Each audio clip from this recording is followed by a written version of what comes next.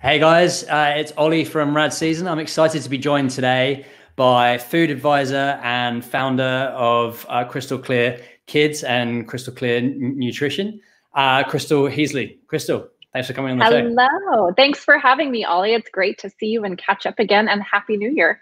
Yeah, Happy New Year. Uh, and wh- whereabouts are you at the moment, Crystal? You uh, San Diego. In- okay. Yeah, San Diego, California. And what's what's the situation like at the moment? How, how's everything going over there?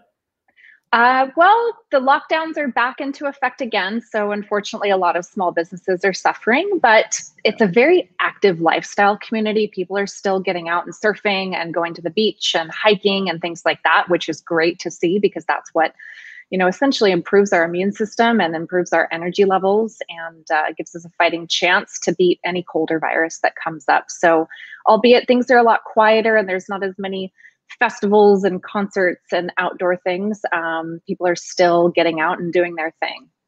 That's cool. That's good. That, yeah, that they can still get out and yeah, go like yeah. go down and sort of like run, hike, get out for a surf yep. and stuff. That's great. Exactly. Exactly.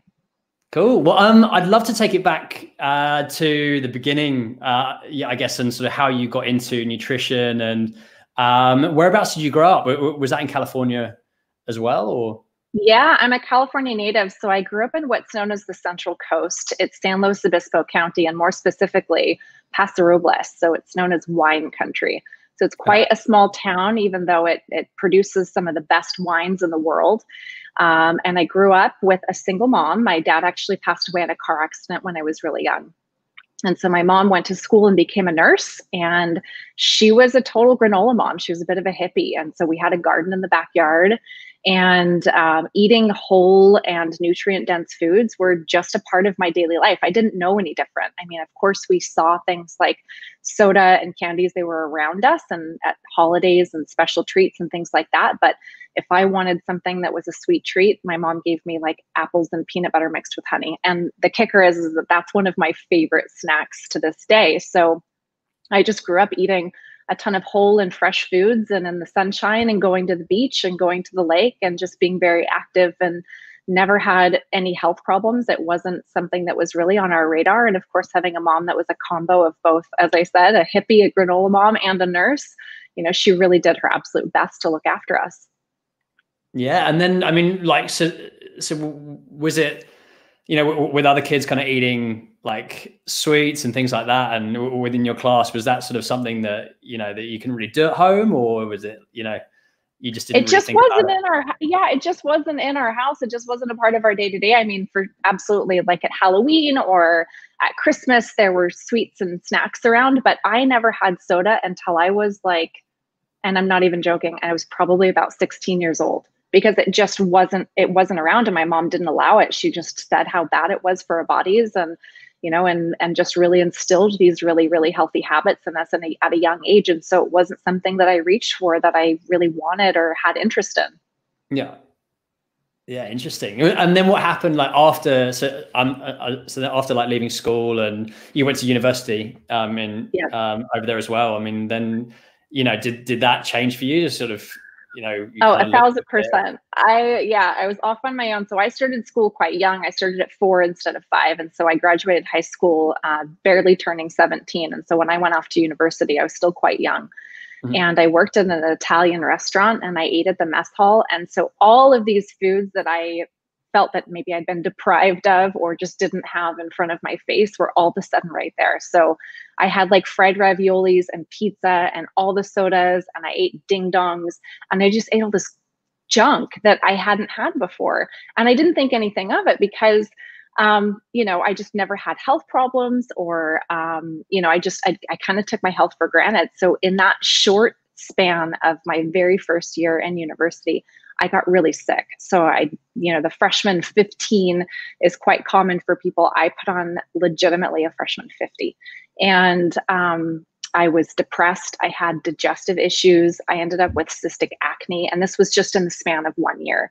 And so I went home that summer. And as I mentioned, my mom is a nurse and her husband, my stepdad, is actually an anesthesiologist. And so I go home that summer and I was just like, you know what? My grades aren't doing that well. Like maybe college just isn't for me because it's not working and I'm miserable and I'm frustrated. And they were kind of looking at me and saying, you know what? Whatever we've got to figure out, we're going to figure it out because, girl, you are going back to school. And so, with their Western medical background, right, and their belief in that system, they suggested uh, you know creams and pills and different things for my digestive issues and for the depression that i was experiencing. And i was like okay. And i kind of thought about it um, you know and i did. I obviously took into consideration and, and their advice because they're my parents. Uh, but just by way of being home that summer and being outdoors my, my parents actually live in alaska. So we left from san oh. luis obispo and went to alaska. And so you know the summer times there are to die for. It's so green and just so beautiful, and you can hike and fish, and you know people go hunting. I'm not personally a hunter, but um, you know we went and we water skied, and just being home and eating my mom's healthy cooking, I just started to feel better, and I was sleeping better, and the, the digestive issues started slowly going away. The acne started clearing up, and so just by the end of that summer, I started to feel much better and went back to school going, okay, there's something in this that I can't keep eating this these fried foods and this you know this pizza all the time and drink all these sodas. And so i just kind of got back into my original habits of you know drinking a ton of water and eating fresh fruits and fresh vegetables. And my mom kind of had this thing when we were young to eat a lot of fruit first thing in the morning because the enzymes are great for your body as soon as you wake up. So i got back into you know doing things like eating you know drinking smoothies. And mm-hmm. um, you know not just it's not just having salads. Trust me when people talk about eating healthy it's not about having a salad every single day. It's a lot more than that. Um, and so i got back into what my body was used to and what my body thrived on. And i felt better and i lost the weight and i continued on and it did. It took me five years to complete my undergrad which is in psychology instead of four but you know that's okay and and i don't you know think much of it now but at the time it was like oh gosh you know i'm behind and everything else but it took that one year of of getting some real life lessons to find out what i was passionate about in school because i originally started going to school for sports medicine and sports therapy uh, right. and so that curriculum is intense it's really really hard but i've always been passionate about helping athletes and supporting athletes on their journey and um, and and kids specifically on how they can set up those habits from a very young age so that they can feel their best and they can thrive in life and whatever it is that they choose to do. Nice. And and where did you go then after so uh, so, so when you graduated what, what what was the first kind of like career job after after finishing? Like what did you do so I learned through experiences. I'm a kinesthetic learner. So I did not want to do any clinical psychology work. I didn't want to set up a practice and go through that entire system. And so when I finished college, I actually moved to Orange County, California, which is um, north of here, maybe by about an hour. It's like 60 miles from here. And I started working for a software company of all places. And I supported them with project management because I'm highly organized and I love putting structure and foundations of companies together. And so I worked for a software company for a long time and I ended up being director of operations. We moved that company to the UK. And so I was in the UK for about four years. The okay. company got acquired by one of our biggest clients. And then I moved my daughter and I back to San Diego six seven years ago. Yeah. All right. Nice. And then was that when, so with Crystal Clear Kids, was that sort of like a couple of years ago when that happened? Or like when did you kind of like first think, okay, you wanted to then move into the whole it's like food advisory and, and nutrition side of things? Yeah, well, I think when cycles come to a completion and you're ready to take a new step in life for yourself and you really sit down and ask yourself, what is it that I'm passionate about and what's my purpose and why am I here? To dig deep into that because I see a lot of people and this is it's super common that you're working a job that you don't necessarily love and that you have a gift. We are all born with gifts to be able to help each other. And so I moved to San Diego and I actually got divorced. And so I had Isabel 100% of the time. I still do. And as I was sitting there going, okay, well, my life was going on this path. You know, I was director of operations, I did all of these things. And when I came back to San Diego, I actually started working with a couple of different companies. And one of them uh, was an investment bank, which again was like way far on the other side of what it is that I that I do. Um, but it was it was so fun and exciting to see these entrepreneurs have a dream and have an idea and then take that idea and organize it in a way that was attractive to investors. And so, just by my nature, just naturally, um, I identify absolutely as a business development and a salesperson because you can be optimistic and find um, the the key pillars of what makes a company attractive and what's going to get traction in the market. So that kind of mm-hmm. brought me into the whole corporate development side. But I was still sat there going, okay, but I'm really, really passionate about kids and nutrition because how I find my passion is I get frustrated, and everybody finds their passion different ways. And, and people have, have asked me this a, a few different times. You know, Crystal, how did you get so passionate about this? And I said, well, there are things that piss me off, things that frustrate me. So if something's going to frustrate you, you either have to get over it or you have to do something about it. And so I decided to do something about it. So I stepped into the nutrition role and decided to get a couple of different certifications. Number one, as a certified master health and wellness coach, as well as a certified intuitive eating specialist. I've also done extensive training to tack on to my psychology background in parent child interactive therapy, PCIT. And that teaches parents how to effectively communicate with their kids uh, to okay. get them on board, whether it's with healthy eating or um, disruptive behavior, whatever it is. Um, but it really hones parents down into connecting with their kids on a deeper level and um, and creating more connection. So so I got the certifications, and so I just started practicing. And I would work with different local schools and local uh, grocery stores where I would go and I would do talks everywhere. And I would talk with parents and say, okay, you know, your kids are dehydrated. And I looked at all the studies of kids are having a hard time focusing at school, and they did a, a test. This is just an example to find out you know if water if them improving or increasing their intake of water would help them be more focused because their brains are actually getting dehydrated. And they found out that it was categorically um, a huge uh, resolution to some problems that kids were having in school. And so okay your kid doesn't like to drink water. I don't personally like the flavor of plain water myself but what are alternatives that we can that we can include and have as a part of our daily life that aren't the things like the brands, and I won't say a brand right now, but that they have dyes in them, and dyes are proven to break chromosomes. And so I just found a lot of fulfillment on a personal level of being able to work with groups of parents and work with families and adjust some things that are in their diet and as, as well as the way that they communicate with their kids uh, mm-hmm. when they have those overwhelming meltdowns and tantrums, et cetera, and go, okay, your kid's actually screaming out for help and and i understand we didn't get a parenting book. None of us got a parenting book unfortunately. But there are three things that are missing when it comes to parenting and it comes to nutrition with your kids. And number one is food education. What are the right foods to feed them Number two, feeding education, the how, the when, the where, the what quantity, the way that to have the conversation with them uh, at mealtime, because mealtime is the point of connection. And then number three, understanding child behavior and temperament. So those are the three things that are missing. Because a lot of times we have this expectation, and parents have this expectation like, well, my kid should just be calm all the time. Well, that's just not reality for a number of reasons because their brains are still developing. And a lot of time kids are still in their right brain, which is your emotional center. It's where you visualize, it's where you uh, have your imagination. And that's where kids are the happiest. And that part is developing and that part is, is actually the strongest when they're young. And your left side of your brain is your is your logic is your lists is your reasoning. So we have to learn how to work with our kids to integrate both sides of their brain. So when they are in the middle of this meltdown which is right brain their emotions are taking over how we can work with them to slowly integrate back into their left brain. Because when they're in the middle of that chaos it's up to us to bring them calm not join their storm. Yeah.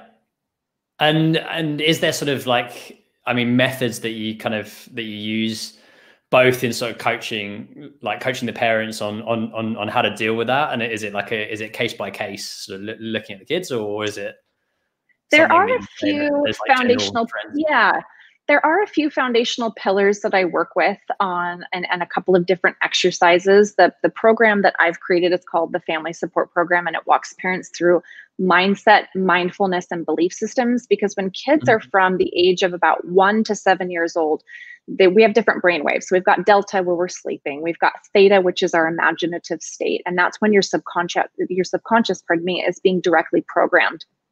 And then you get up higher into the beta and the gamma waves, the al- delta, theta, alpha, beta, gamma waves. So when your kids are actually in like the theta and alpha states, from one to seven years old. And so all of your belief systems are being created. So if you think back yourself, Ollie, to maybe a fear that you have or something that triggers you, I can bring you back. We could do an exercise together. I could bring you back to when that first belief or that first experience created that belief and it will be between the ages of 2 and 7 years old i can guarantee it so it's it's kind of overwhelming if you think about it to say okay as parents you're in charge of creating your child's subconscious beliefs and then these subconscious beliefs carry in through adulthood. And so you're really framing and molding their mind and their mind is is is is is um, it's plastic to a certain mm-hmm. degree at a very young age. And so how can we learn how to communicate? There are you know a few different methods um, and and they're they're they're proven they're scientifically proven. And so what i bring parents to first and families and athletes even that i work with is saying okay how can we slow down and be mindful of what's happening in this very present moment? Because the past that's already happened. The future it hasn't happened yet. The only thing that we have influence and control over is what's happening in this very present moment right now. So if you can slow down you'll catch where that reaction is coming from and turn that into a response and be able to respond in a way that you feel calm and comfortable and that you're not scaring your child. Yeah, interesting. That's cool. And uh, like looking into the the athlete uh, food and nutrition side of things. So you, you've, you've developed the the food guidelines for the for the US uh, Olympic surf team. Um, what, what, did that consist of? I mean, that was that kind of like a full program, or like what, what did you do for those guys?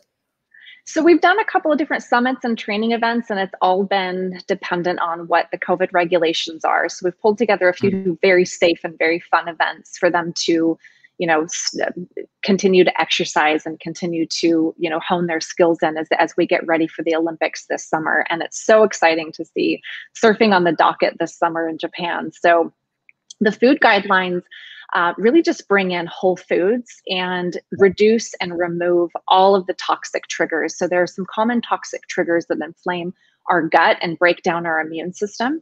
Um, so 90% of the time, if you're looking at things like corn and soy, they're genetically modified and GMOs are very toxic to our body. So if you look at kind of like the top toxic triggers, you've got corn and soy, you've got GMOs, um, Again, 90% of corn and soy are genetically modified, which actually alter our DNA and our RNA. So, meaning our bodies can't absorb them as nutrients properly and they damage our yeah. system. Uh, and then things like, you know, like alcohol, that's and, and stress. Stress wrecks your immune system. So the food guidelines that I worked with the US surf team were were very simple meals that are common day-to-day things, but we made them super made them with superfoods and made them with clean oils, right? So we're not using canola oil, we're not using grapeseed oil, we're strictly using either olive oil or coconut oil. We didn't mm-hmm. fry anything. Um, so if you had fried rice, it would have been like, you know, sauteed or, um, you know, steamed or something like that with, yes, some yummy vegetables. And instead of using things like soybean oil, um, we would use things like uh, coconut aminos because it still has that great flavor, but you're getting a ton of amino acids, which are the building blocks of protein. So I look at everything um, very holistically, and it's a lot simpler, I think, than people realize to eat clean and healthy because you can mm. swap out a ton of your favorites and just cook them um, a little bit of a different way. So again, like air fryers are super popular right now. You get that crispy texture, but it's not deep fried in oil and filled with trans and saturated fats that yeah. are terrible for your system. So a lot of people have this. There's this um, misconception that you know you've got to before a big event carb load. And i don't know where that came from. I'm not quite sure where that i called an urban myth or a misconception. But if you're if you carb load i mean think about it. You sit down and you eat a big plate of pasta what happens? Yeah you feel sleepy right? And you want to you're tired. You, you can't uh, your body's taking all of this energy to digest this really really heavy meal and so to eat lighter, you know, I, I actually created a, an athlete food guideline um, downloadable, which is great. And I'm happy to share it with you guys as well. Uh, it depends on the time of the event. So it's really common for a lot of athletes the day of an event to be quite nervous. And where do you hold your nerves? In your stomach. So if you're going to eat something really heavy, then what's going to happen? You've got your nerves on top of, um, you know, this heavy meal, and then you're going to get sick before an event. So it's really common for athletes to be sick and nervous before an event. I hate to say that. I hate to say it in, in, a way that comes across as harsh, but it's not harsh. It's it's it's real, and it's real mm-hmm. like that for all of us. Whether you're going to get on a stage and have a chat, or you're going to be in a boardroom presenting to your board of directors, or you're getting ready for an event, your body goes into anxiety, and so it has a really hard time processing the food that you're attempting to fuel it with. Yeah. So a lot of the guidelines are just around eh, the you know the event and the time of day, and then you know if you're going to have things like pancakes, like that's okay, but have it as a 50-50 mix and have them lighter and have them gluten free. Um, eating things like a little bit of white bread is actually okay before an event because it's it's clean, quick fuel, and it's not going to take a long time for your body to digest it. So we really want to stay away from things like cruciferous vegetables, and cruciferous are simply uh, broccolis and cauliflower and things that take a while, or beans, right? Things that take a long time for your body to break down and get the nutrients out of. So we just want to keep it really light, is, is simply the answer. And is there a big difference then between sort of looking at foods in preparation and then looking at recovery foods? So, for example, for the surfers, like whether it's between heats or whether it's that evening before before they're competing or you know like like after after they've done so I mean, because these events, if they go through, then it continues, isn't it? So it's kind of like yeah, it's it's not just a one day thing. It's kind of it's a continuation or it's a lifestyle, right? So looking at what it they is. before and what they yeah. after. Yeah, I mean, before an event, as I said, you know, if it's the night before, I fed them things like, um, you know, like a like an air fried rice uh, with, uh, you know, the cruciferous vegetables again the night before are fine. So some broccoli, some lean meats, right? It's all about having the lean meats, nothing that's too fatty or um, or overwhelming per se and again not fried uh, and mm-hmm. then in between heats though you you don't want to eat and you don't need to eat what you need to do is replace your glycogen stores and so you can have things like um, you know there are some gels and some gel pouches that are great in between the heat just to get some quick sugar in your body because that's actually energy and people shy away from sugar all the time but sugar has its role and our body just needs those three things right it needs fat it needs protein and it needs sugar which are carbohydrates it's just about not having heavy carbohydrates and having simple carbohydrates rather than complex ones so that your body can have the opportunity to break it down and use it as fuel rather than overloading it and being and feeling sluggish like we just said. Yeah. And what would you say like the differences are say between between these action sports so whether it's uh you know between skateboarding, surfing, skiing, snowboarding, whatever it may be or you know different different types of athletes um, and performance? You know, is there any any sort of things that differentiate the the athlete, or is it just down to the individual? Um, I there's not a massive difference between the sports unless you're doing something that's really jarring physically as it comes to nutrition. Mm-hmm. Um, you know, right after sport for recovery, what's great is smoothies. Um, you're getting, you know, like a plant-based milk protein for the base, uh, things like some leafy greens, um, yep. things like bananas to replace your potassium, um, getting magnesium in your system because that's a really great nerve nourishing mineral. Um, and that the, the one that goes along with that is B6. And there are a lot of great protein powders that include things like this. People just don't really, I think, r- look for the ingredients. And so when I recommend any type of protein powder or protein drink per se, which is fantastic for recovery immediately after you've finished an event, uh, just make sure it's got magnesium and B6, which is a cofactor, and it helps okay. your body absorb the magnesium. There's actually 90% of people that are deficient in magnesium, and there's about 70 to 80% of us, maybe even more, that are deficient in vitamin D. And those two things actually affect our energy levels. So even though I live in San Diego and there's 340 days a year of sunshine, I take a vitamin D supplement every single day um, to improve my energy levels as well as, you know, recover uh, cells recover um, from whatever it is that I'm doing. So it does come down to the individual person, though. It's hard to recommend here's one diet that's going to work for everybody because there is no one diet that works for everybody. Um, yeah it really depends on what their goals are when it comes to athletes, right? They want energy and they need fuel and they want to perform their best. When you're in colder climates, it's best to eat warmer things. And so I recommend things like lentil soups um, are fantastic because you have a ton of um, there's a ton of proteins in lentils and a ton of protein in black beans. Actually, gram for gram, black beans outweigh red meat uh, 10 times over. So they don't get enough and, and, and, and, and, you know, they're not as heavy either. So they don't take as long to digest. So in colder climates, you want to eat warmer things. And then in hotter climates, you want to eat colder things. And that's just balancing. If you think about it from the Chinese uh, philosophy of balancing, you know, your yin and your yang, as well as your, you know, your life force energy, your body has to have balance. So if it's cold, you want to eat warm things. If it's hot, you want to eat cold things. Yeah, no, that makes sense. And you're, you're also designing, um, you're doing some meal plans and agricultural programs as well, right? For, for some training facilities. Um, yeah. What are you working on there? Yeah, it's really exciting. So, Crystal Clear Nutrition Group, we design programming for action sports facilities and for real estate developments. So, everybody is looking towards fresh food. We're kind of getting back to our roots, right? The new path is an ancient one, essentially. So it comes down to the nutrient density of the soil. So the programs that I work with and the farm the farm partner that I have actually has a regenerative regenerative system and it's carbon negative. So carbon neutral is great, but carbon negative, meaning we give back to the environment, we're not depleting anything from it, is actually the goal of what we're all looking for. So with the with the the programs that I work with, I instill for them and I can design for them uh, a meal plan sure this is the menu because people don't want to go anymore you know to a to an to an active sport or a sport facility or a real estate development property and you know things like hot dogs and nachos and maybe at best you know they're getting um, like a turkey wrap or something like that. They really want more whole fresh foods and so we can come in and, and, and i can uh, design for them and project development and manage for them. Uh, a micro farm an urban farm we actually have the food that comes on trays uh, and they're in socks boxes.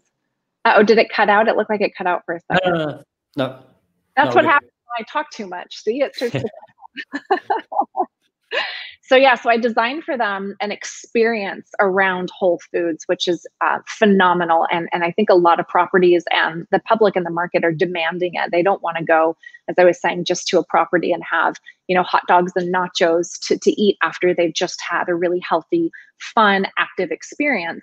Um, so mm-hmm. I can design the menus for them. I've done that for a number of different locations, whether it's an indoor rock climbing uh, program or an indoor surf pool things like that.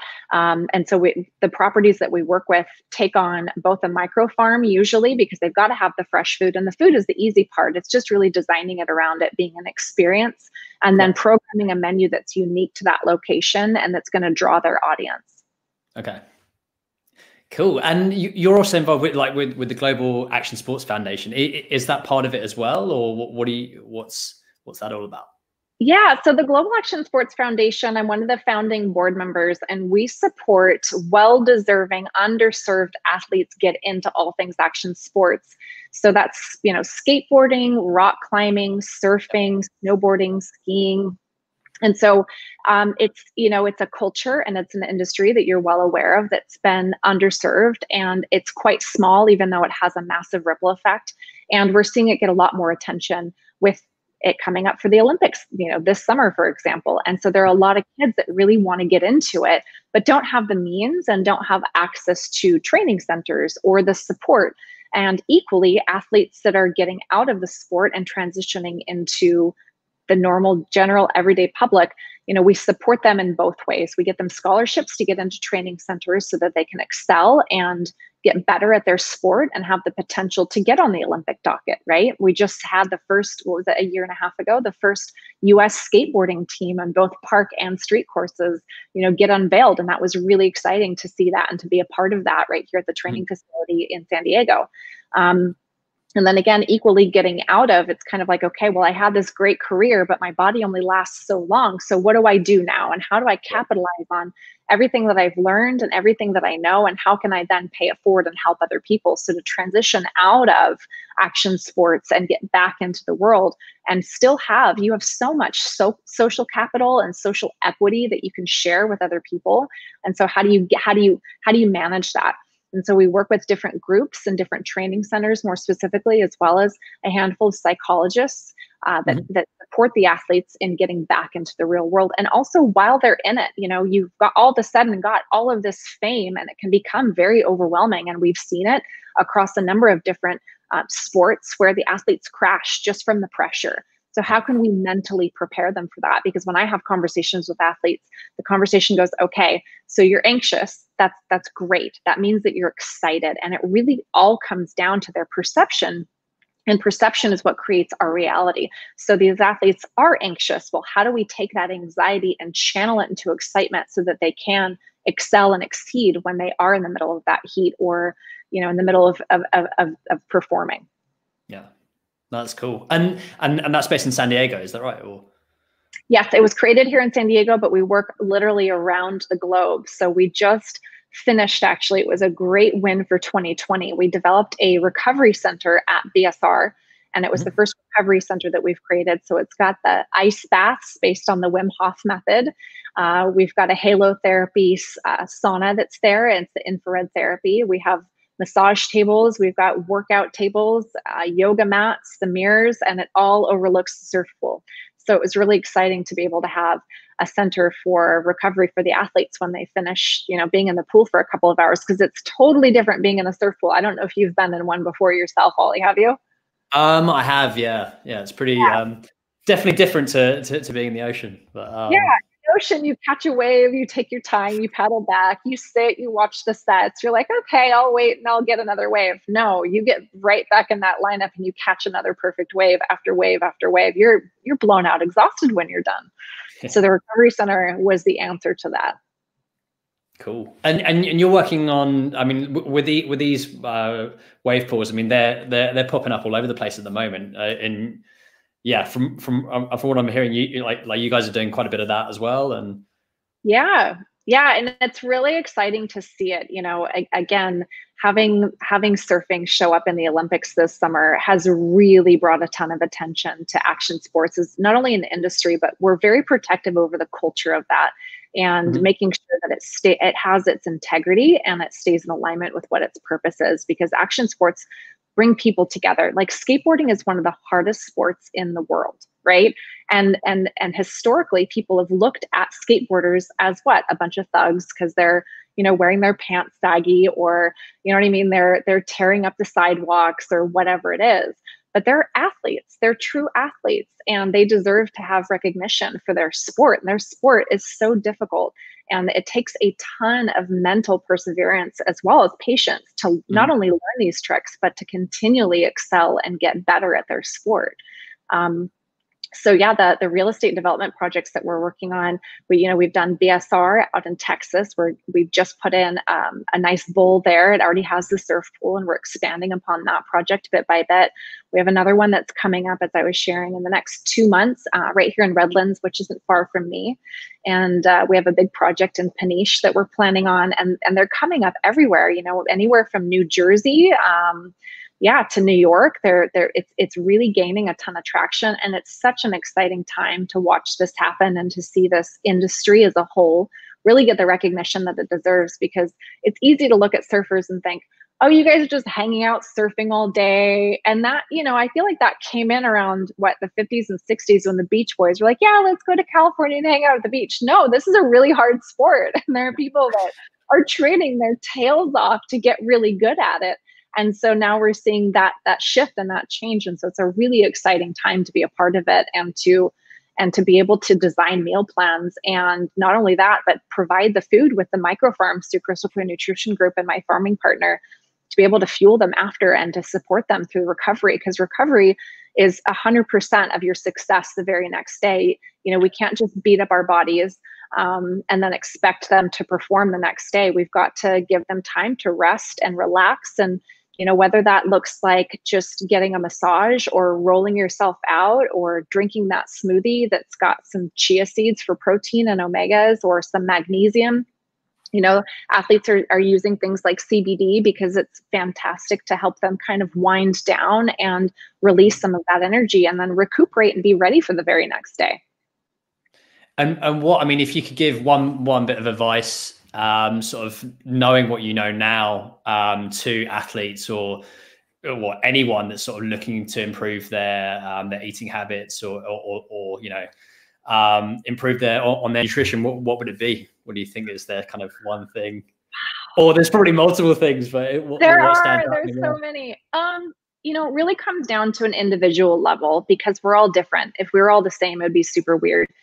So, a big thing that I practice and that I speak on and I teach on is the art of slowing down and being mindful. Mm-hmm. Because when you slow down and you're mindful, you know, it, mindfulness got a ton of attention only in the 90s when they came out and they had a TV show on mindfulness. And people were a bit like, well, what's this?